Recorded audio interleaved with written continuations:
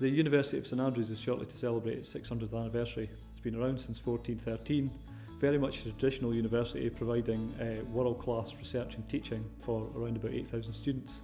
Being an old uh, university, one of, the, one of the ancients and a research-intensive university, it doesn't mean to say we won't use modern age or, or leading-edge uh, technology to enhance our business. Like any business these days, information technology underpins all aspects of our business.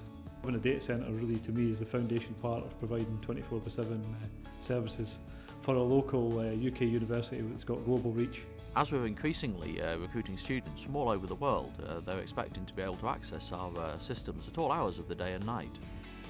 Having something that we can rely on to uh, provide these critical services is very important for the university that we're able to do this.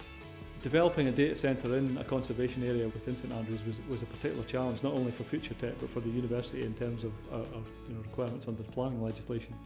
Prior to the construction of the data centre, we had equipment located in around about 40 locations on the campus, taking up quite valuable real estate. We're looking to consolidate all that equipment.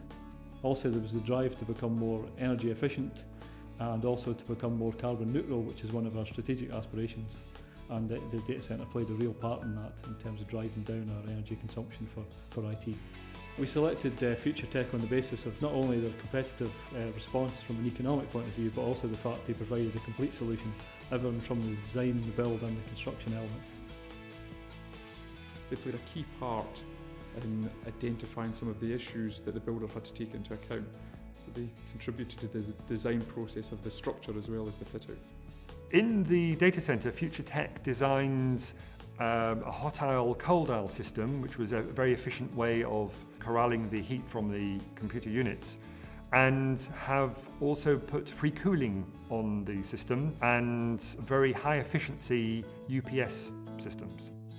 The solution is very innovative in that it places a whole series of very simple things together which altogether mean that the PUE of the data center is at 1.2. So it's by careful attention to all the individual details that you've ended up with such a, a good energy efficient data center. We've also built in a heat exchanger into the system that will enable us in the future to heat some of our adjacent buildings from the waste heat from the data center.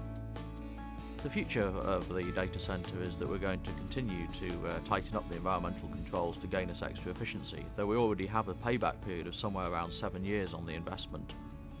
It's also going to save us somewhere around 7,000 tonnes of carbon emissions in the next 10 years. FutureTech's attitude was very proactive from the very beginning, and I think they welcomed having a client that was actually pushing them from the very start to say what we want to see here is something special.